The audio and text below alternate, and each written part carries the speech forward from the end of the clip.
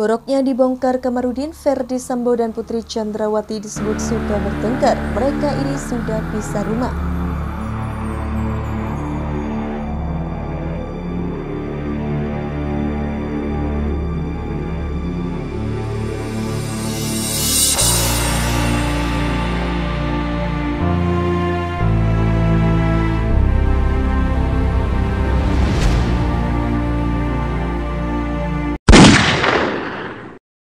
Dapur berita artis terkini. Hai guys, semoga kabar Anda baik-baik saja. Selamat datang kembali di channel Duster Infotainment. Terima kasih karena sudah memberikan support dan juga kesetiaan Anda untuk membangun channel ini. Kuasa hukum Brigadir J. Kamarudin Simanjuntak menjadi salah satu saksi dalam sidang Baradae yang digelar hari ini di Pengadilan Negeri Jakarta Selatan. Dalam kesaksiannya di depan majelis hakim, Kamarudin menegaskan soal wanita simpanan Ferdi Sambo. Ia mengaku mendapat informasi itu dari intelijen. Kamarudin menyebut kalau Ferdi Sambo dan istrinya Putri Chandrawati sering bertengkar, majelis hakim pun bertanya soal alasan pertengkaran tersebut. Pengacara berdarah Batak itu kemudian menjawabnya dengan menyinggung wanita simpanan yang dimiliki oleh Ferdi Sambo. Tak hanya bertengkar, Kamarudin bahkan mengatakan kalau Ferdi Sambo dan Putri sudah tidak tinggal satu rumah lagi. Pertengkaran itu sebabnya karena wanita informasi bahwa si bapak ada wanitanya, ucapnya. Ia menambahkan informasi yang kami dapat mereka ini sudah pisah rumah, ibu PC tinggal di rumah Saguling, bapak itu tinggal di Jalan Bangka.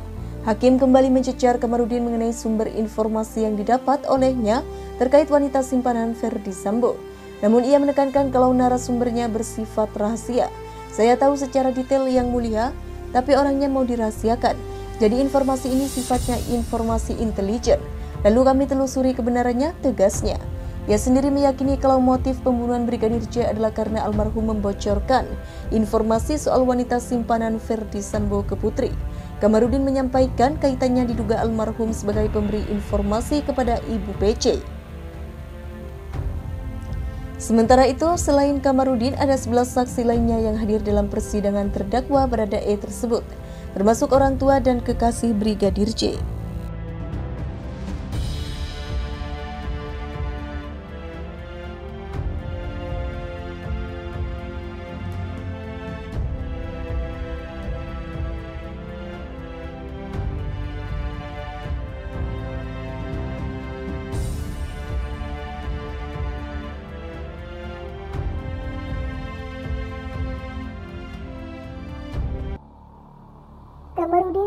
Simanjuntak masuk rumah sakit akibat melawan Ferdi Sambo di kasus Brigadir J. Cek fakta Kamarudin Simanjuntak dilarikan ke rumah sakit. Kamarudin Simanjuntak masuk rumah sakit karena melawan Ferdi Sambo di kasus Brigadir J. Sebagaimana diketahui Kamarudin Simanjuntak belum lama ini menyatakan pamit dalam kasus Brigadir J. Kamarudin Simanjuntak menyebut keluarga Brigadir J sudah lelah hingga dirinya pun memutuskan untuk mundur. Di tengah-tengah pernyataan Kamarudin Simanjuntak itu kini muncul kabar Kamarudin Simanjuntak masuk rumah sakit akibat melawan Ferdi Sambo. Tersiar kabar bahwa Kamarudin Simanjuntak dilarikan ke rumah sakit, namun bagaimana kebenarannya?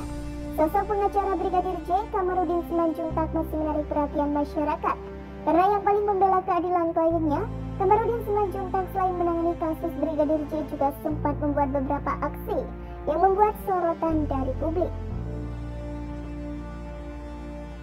Pengacara Kamarudin mengaku bahwa istri dibakar hidup-hidup bersama anaknya yang membuatnya ingin menegakkan keadilan. Selain itu dirinya juga melaporkan Direktur Utama Biro PT Taspen Persero.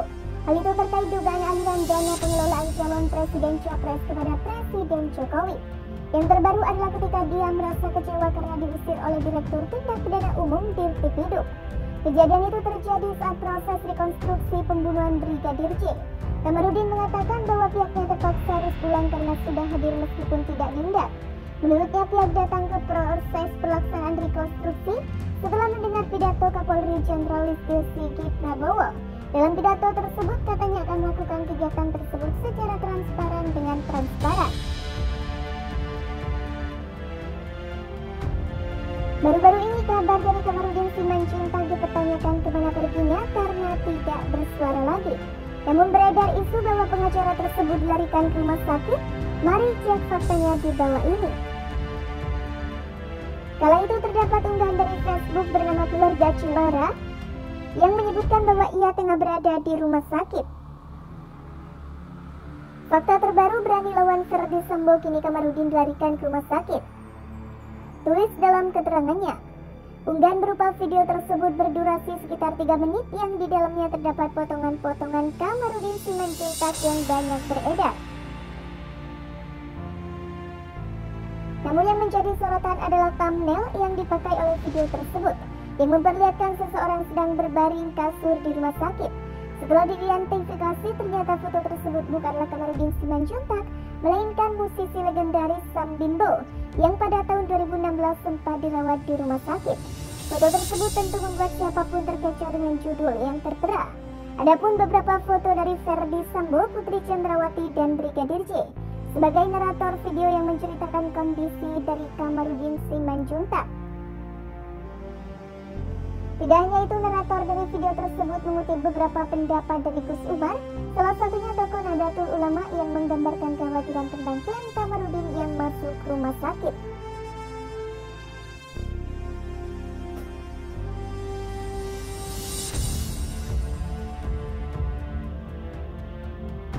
Dari bagian video, satu-satunya bagian yang menyebut bahwa Kamarudin Simanjuntak berada di rumah sakit disampaikan oleh narator pada menit ke-1.34. Satu-satunya bagian yang menyebut Kamarudin berada di rumah sakit disampaikan oleh suara narator tersebut. Ada juga yang menduga Kamarudin sakit dan dirawat di rumah sakit, sebutnya dalam narasi singkat. Masih belum ada bukti kalau Kamarudin masuk rumah sakit seperti yang dinarasikan.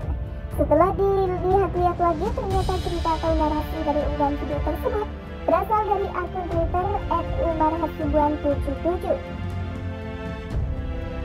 Jadi setelah ditelusuri, kabar Kamarudin Simanjuntak masuk rumah sakit karena melawan Verdi Sambo adalah bohong atau berita hoax yang tidak terbukti kebenarannya.